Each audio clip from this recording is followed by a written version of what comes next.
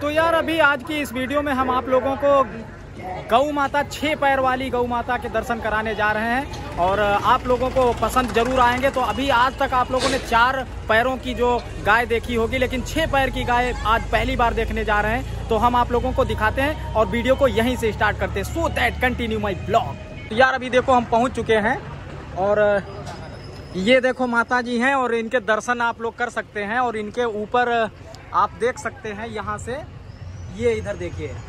इनके जो ठिल्ला होता है, ये वाला जो ठिल्ला होता है, यहाँ पर आपको गौखुर मिल जाएँगे देखने को। तो यार, ये अद्भुत नज़ारा आप लोग ज़िंदगी में शायद पहली बार ही देख रहे होंगे।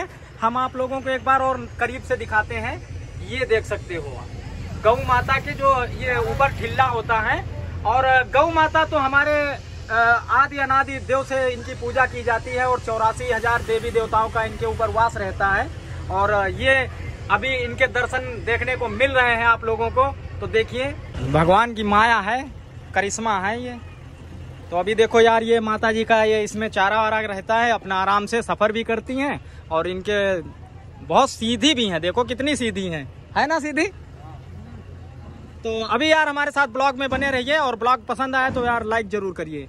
तो यार करीब से हम आप लोगों को दिखा रहे हैं, देख लीजिए आप, ये माता जी का ये खुर है और ये इनके ऊपर देखो क्या यार कुदरत का करिश्मा है और ये ठिल्ले के ऊपर बिल्कुल है।